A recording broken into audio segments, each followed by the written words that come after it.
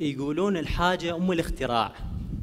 وطننا برغم المآسي ظل يعلمنا أشياء يمكن لو عايشين خارج البلد ما كانت تعلمناها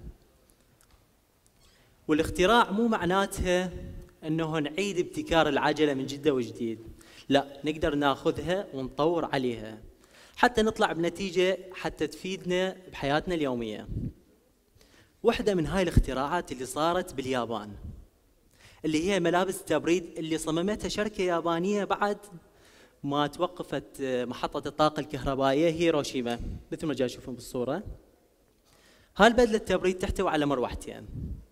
تدخل الهواء وتبرد الجسم بس هسه راح ننتقل من اليابان إلى أخواننا بدولة الإمارات العربية المتحدة. اللي استثمروا هاي البدلة وطوها لعمالهم حتى تزيد كفاءة شغلهم بالصيف. بس أكو مشكلة. درجة حرارة باليابان مو نفسها بدولة الإمارات العربية المتحدة. بصورة أوضح إذا كان درجة حرارة 50 فمعناته المراوح راح تشتغل وتذب عليك 50 درجة مئوية. يعني ما راح يكون أكو أي تبريد. لهذا وصلنا لهذا الابتكار العراقي. أصغر جهاز تبريد يشتغل على بطارية 12 فولت. أو أول ما يشتغل الجهاز راح ينزل درجة حرارة من 60 درجة إلى 15 درجة مئوية أو أقل. هذا الجهاز مميزاته كلفته الرخيصة جدا وزنه الخفيف وكفاءته العالية. الجهاز يتكون من قرص الألمنيوم لزيادة التبادل الحراري قطعة الثرمو الكتريك هاي القطعة هي اللي تبرد البدلة وتسحب الحرارة من الجسم وتطلعها خارج الجسم.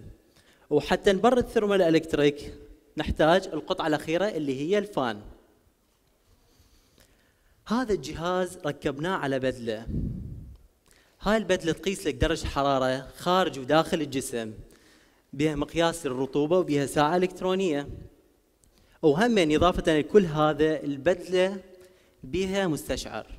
إذا صعدت درجة حرارة فوق المستوى الطبيعي وقالت لك إنه كفاءتك راح تقل فلازم تشغل التبريد حتى تحافظ على صحتك. أو تقدر تخليها على الوضع الآلي.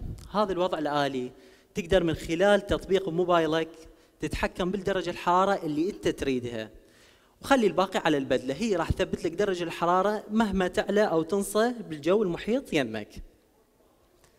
هذا الجهاز حبينا نركبه على بدلة الجندي.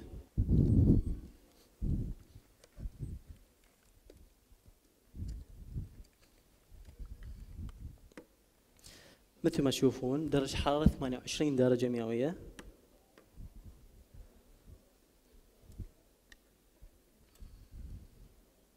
وهسه بدأ يشتغل الجهاز. خلال 30 ثانية ينزل أدنى نقطة إلها. حاليا 28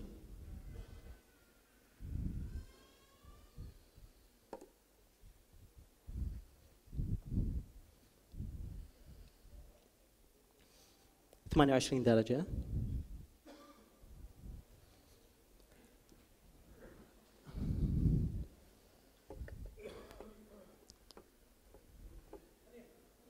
تسعة عشر درجة.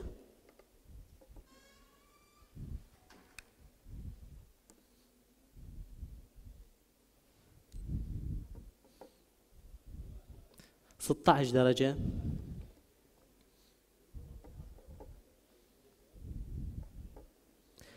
الجهاز راح يبدي ينخفض درجة حرارته إلى أن تصل إلى صفر المئوي. هذا الجهاز ما يقتصر فقط على بدلات الجنود. نقدر هميا نضيفه لبدلات العمال النفط اللي هم يعتبر المورد الرئيسي لدخل هاي الدولة. اللي ما يعرف إنه درجة حرارة بالمصافي عالية كلش توصل إلى أكثر من 59 درجة مئوية. بعض الأحيان توصل إلى 66 درجة مئوية.